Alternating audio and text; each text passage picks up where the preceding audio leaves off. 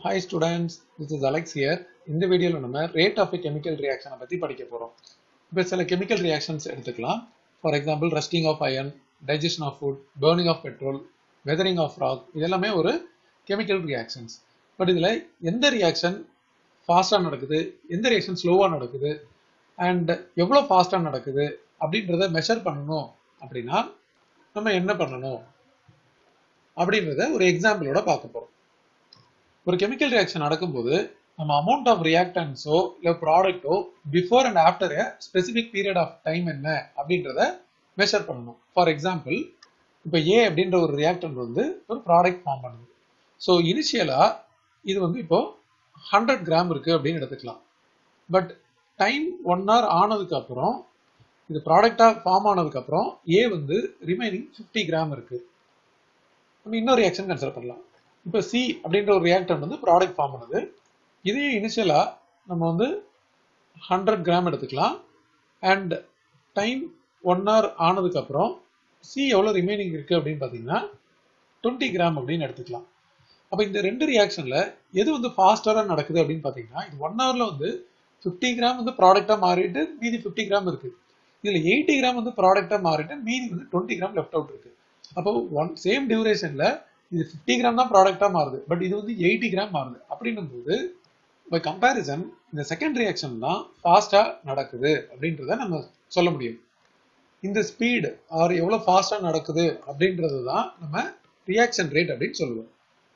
So அப்போ rate of reaction அப்படின்றத நம்ம எப்படி டிஃபைன் பண்ணலாம் அப்படின்னா அது வந்து change in the amount or concentration of any one of the reactants or product per unit time இப்போ ஒரு ரியாக்ஷன் நம்ம கன்சிடர் பண்ணுறோம் ஸோ ஏ அப்படின்ற ரியாக்டன் பின்ற ப்ராடக்டை ஃபார்ம் பண்ணுது.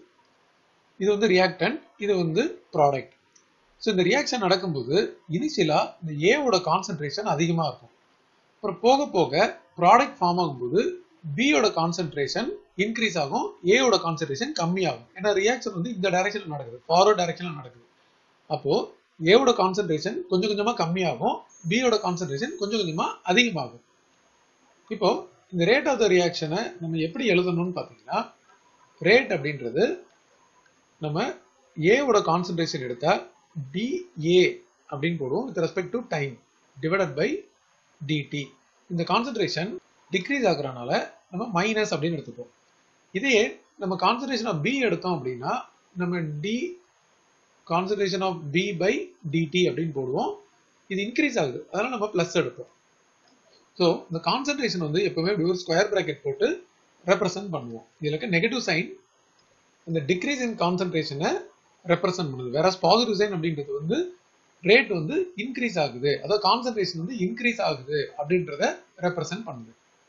ஸோ இந்த ஸ்கொயர் பிராக்கெட்ல இந்த கான்சன்ட்ரேஷனை போட்டிருக்கோம் இல்லையா? எப்பவுமே கான்சன்ட்ரேஷன் வந்து இது ஸ்கொயர் பிராக்கெட்ல தான் நம்ம எக்ஸ்பிரஸ் பண்ணுவோம். அண்ட் இதுல வந்து நம்ம ஸ்மால் டி யூஸ் பண்றோம். Small D of concentration A by D T இந்த டி அப்படின்றது எதை ரெப்ரசென்ட் பண்ணுதுன்னு பார்த்தீங்கன்னா அண்ட் இந்த டி அப்படின்றது இன்ஃபைனட்டிசிமல் சேஞ்ச் இன் கான்சன்ட்ரேஷன் அர்த்தம். அதாவது இன்ஃபைனட்டிசிமல் அப்படின்னா ஒரு ஸ்மால் சேஞ்ச் அப்படின்னு அர்த்தம். So D concentration A by D T அப்படின்றது small change in concentration with respect to time அப்படின்னு அர்த்தம். இப்போ அடுத்து நம்ம பார்க்க போகிறது என்னென்ன ஃபேக்டர்ஸ்லாம் ரேட் ஆஃப் த ரியாக்ஷனை இன்ஃப்ளூயன்ஸ் பண்ணும்?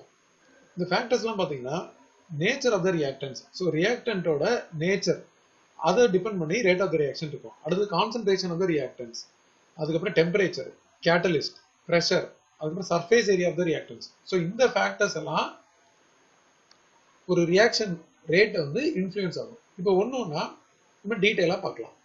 இப்போ first nature of the reactants இப்போ நமக்கு ரெண்டு ரியாக்ஷன் இருக்கு.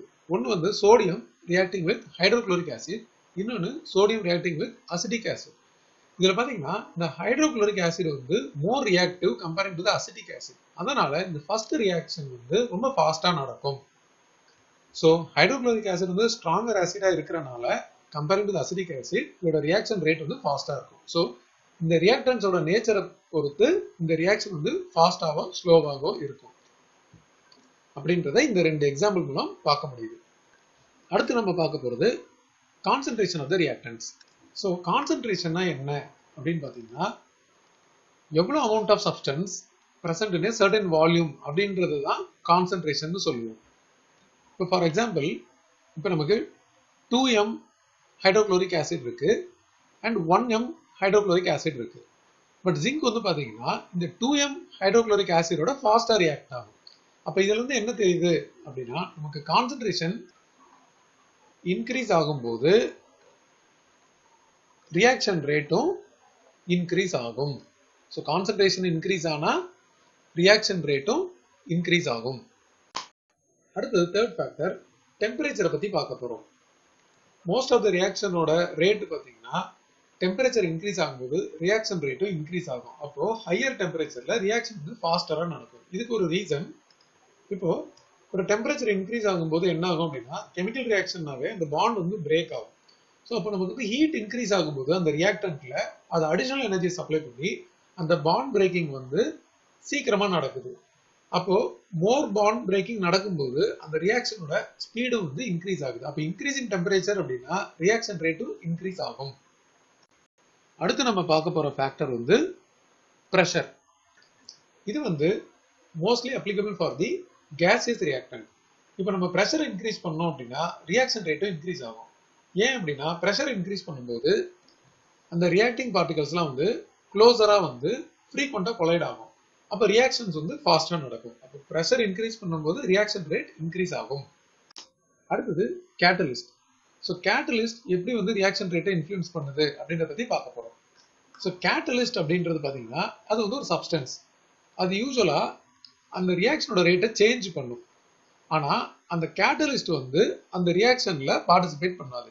ஸோ கேட்டலிஸ்ட் அப்படின்றது which increases the reaction rate ஆக்சுவலாக இன்க்ரீசஸ் அப்படின்றத விட சேஞ்ச் பண்ணுன்றத கரெக்டான விட. ஏன்னா சில கேட்டலிஸ்ட் வந்து இன்க்ரீஸும் பண்ணும் சில கேட்டலிஸ்ட் டிக்ரீஸும் பண்ணும். ஆனால் அந்த கேட்டலிஸ்ட் வந்து without being consumed in the reaction so அப்போ கேட்டலிஸ்ட் அப்படின்றது ஒரு substance that increases or changes the rate of the reaction without being consumed in the chemical reaction இப்போ ஃபார் எக்ஸாம்பிள் பொட்டாசியம் குளோரைட் இருக்குது அதை நம்ம ஹீட் பண்ணும்போது அது டீகம்போஸ் ஆகி potassium chloride and oxygen gas வரும். பட் இந்த ரியாக்ஷன் வந்து நமக்கு ஸ்லோவாக நடக்கும். ஸோ இதை ஹீட் பண்ணும்போது இந்த ரியாக்ஷன் வந்து ஸ்லோயர் ரேட்டில் நடக்குது.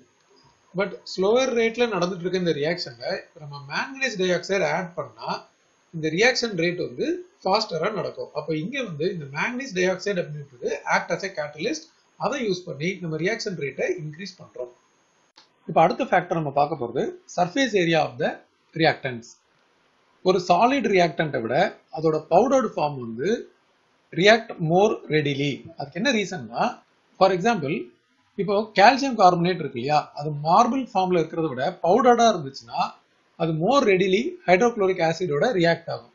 ஏன்னா பவுடர்ட் ஃபார்மாக இருக்கும்போது அதோட surface area so surface area வந்து இன்க்ரீஸ் ஆகுது. அப்போ என்ன ஆகுது அப்படின்னா more energy is available on collision of the reactant particles so more surface energy இருக்கிறனால மோர் ரியாக்டன் பார்ட்டிகல்ஸ் வந்து கொலேஷனுக்கு அவைலபிளா இருக்கிறனால ரியாக்ஷன் ரேட்டும் இன்க்ரீஸ் ஆகுது. அப்போ ஒரு surface area of the reactant increase ஆச்சு அப்படின்னா ரியாக்ஷன் ரேட்டும் இன்க்ரீஸ் ஆகும்.